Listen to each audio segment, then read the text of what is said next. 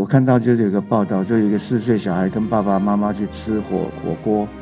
那我们的火火锅店的朋友非常的尽责，一定要求他自己一锅。我心中的时候想说啊，万一这样小孩子万一被火锅烫烫到怎么办？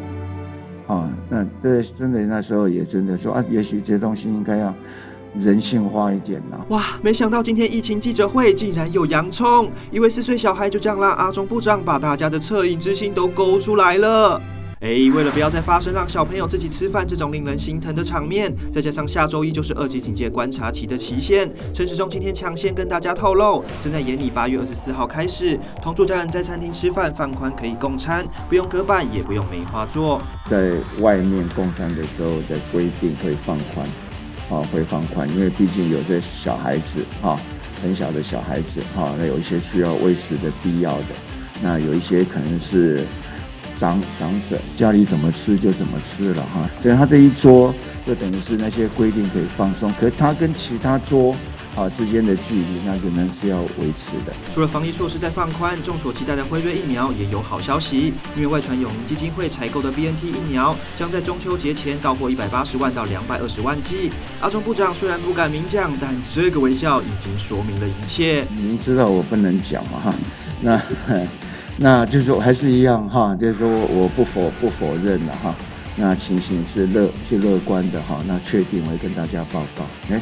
不要再问什么时候来的哈。另外，下周一就要正式开打的国产高端疫苗，昨天开放给二十到三十五岁以上朋友预约。截至今天下午一点，已有十六万三千九百九十五人成功预约晋升高端分子，加上先前已有四十一万九千两百二十位三十六岁以上高端粉预约完成。也就是说呢，距离六十一万多剂的货量只剩不到三万剂可预约。但陈时中，请大家别担心，因为还有备用的三万多剂疫苗正等待封检检验中。不过，相信高端粉粉们也都想问。打了第一剂后，何时可以打第二剂呢？会不会像其他国际疫苗一样要延长？不过在目前来讲，我们还是维维持在它的访单的哈日子里二十八天哈就要打，因为并没有新的研究来支持它可以变得更长。至于大家最在意的打高端疫苗出国能否得到认证，阿中部长也说，昨天 A I T 新任处长孙小雅下午到机关署拜会，双方呢就有聊到高端疫苗双边数位认证。我国对于高端的疫苗也很重视哈，因为这是 N I H 大家在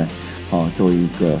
啊应该是说嗯科学结果的一个分享哈，所那个衍生出来的一个疫苗。听完一连串让人振奋的好消息，回归国内疫情也是维持稳定。今天国内仅新增一例本土个案，五例境外移入，死亡个案则没能继续维持加零，新增了五名死亡个案。统计台湾 COVID-19 的确诊人数已有一万五千八百九十七例，其中本土病例高达一万四千四百八十八例，确诊个案中八百二十六人死亡。